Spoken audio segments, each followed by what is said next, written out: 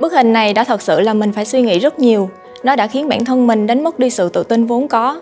Và đây cũng chính là lý do thuyết phục mình phải làm điều gì đó ngay để sở hữu nụ cười hoàn hảo.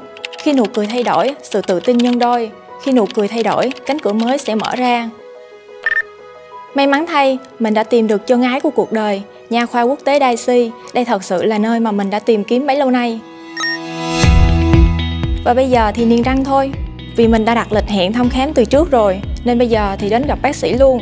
Đầu tiên mình được bác sĩ thăm khám tổng quát tình trạng sức khỏe răng miệng.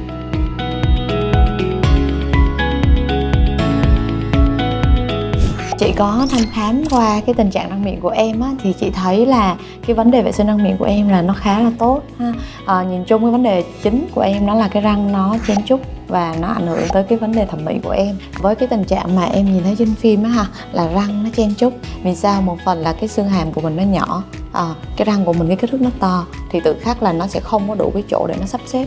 À, đồng thời nó cũng có những cái răng khôn ở phía trong mình. Đó là nó sẽ đẩy cái hàm răng của mình làm cho nó chen chúc phía trước. Còn tổng trạng tất cả cái vấn đề vệ sinh răng miệng cũng như là sâu răng thì chị cũng chưa có phát hiện được và mọi thứ là đang trong cái tầm mà kiểm soát tốt ha. Sau quá trình thăm khám, bác sĩ lên phát đồ điều trị chi tiết phù hợp với tình trạng răng của mình. Thì cái kế hoạch điều trị á, là mình sẽ sắp đều răng phía trước và đồng thời sau này những cái răng khôn này thì em cũng cần giải quyết để nó không có đẩy hàm răng của em nó chen chút thêm nữa. Thì cái ca điều trị của em á, thì nó vẫn là ở cái ca mức độ trung bình. Thì thời gian điều trị nó khoảng là 2 năm ha.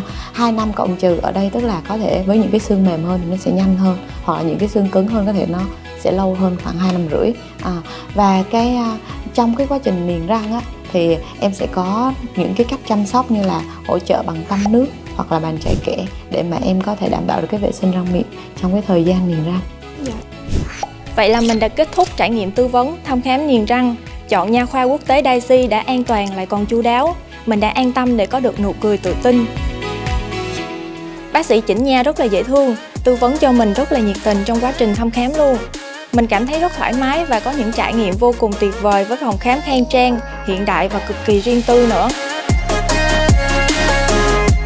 Đừng chần chờ, liên hệ đến hotline 1900 9009 của Nha khoa quốc tế Daisy để trở thành đồng niền và bắt đầu hành trình chinh phục nụ cười hoàn hảo nhé.